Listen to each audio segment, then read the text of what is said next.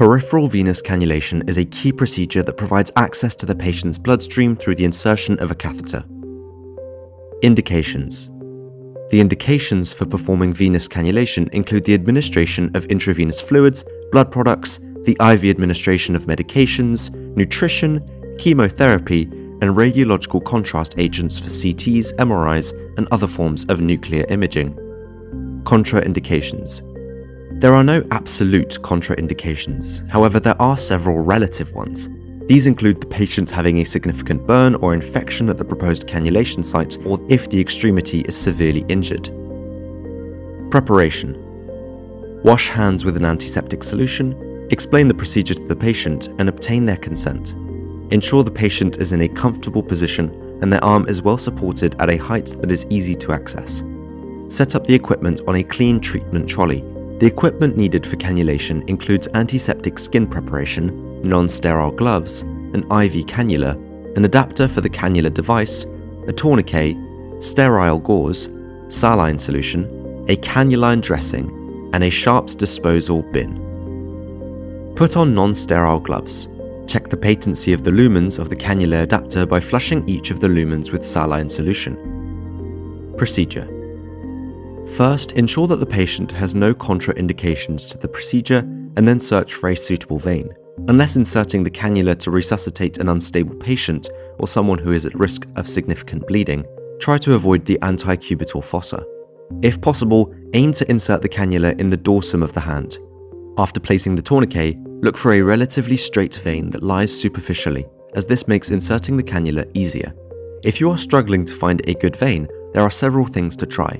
Try gently tapping or rubbing over the vein, asking the patient to lower their arm or using gravity to engorge the vein.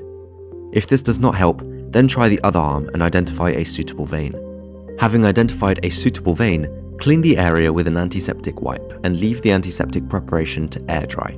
Take the cannulation device and gently slide the needle partially out of the cannula and then back into its original position to ensure there are no defects with the device and the cannula will advance smoothly once the needle is in the vein. When cannulating the dorsum of the hand, ask the patient to make a gentle fist, as this helps to make the skin slightly more taut, hence helping to fix the vein in place. Hold the cannula in the dominant hand while the other hand applies gentle traction to the skin. Insert the cannula needle with the bevel pointing upwards at an angle of 20 degrees from the skin surface. The needle is slowly passed through the vein until there is a give as the needle tip enters the lumen of the vein. At this point, slightly lower the hand to reduce the angle of the cannula. The needle is gently advanced a further 2 to 3 millimeters. At this point, the cannula can be smoothly advanced over the needle by moving the hub of the cannula towards the skin surface.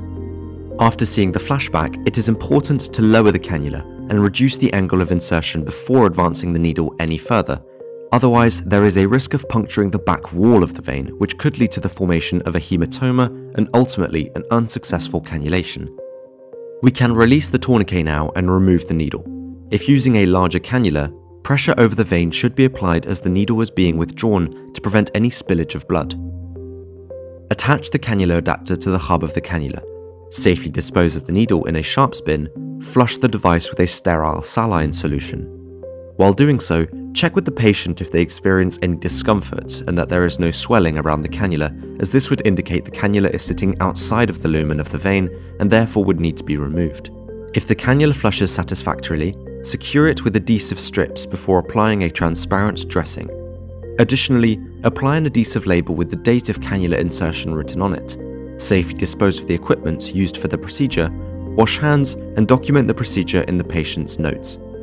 Post-cannulation. Review the patient post-procedure to ensure they remain well and don't have any signs of complications. With regards to managing the cannula, aseptic technique should be used, and regular flushing of the cannula should be undertaken to maintain the patency of the lumen. Keep the cannula and the dressing clean and dry, also, ensure regular reviews of the cannula site are performed to identify any potential complications. It is typically recommended to keep cannulas in situ for no more than 72 hours to reduce the potential for complications. Complications While peripheral cannulation is a minimally invasive and commonly performed procedure, it is associated with the occurrence of specific complications, which are important to be aware of.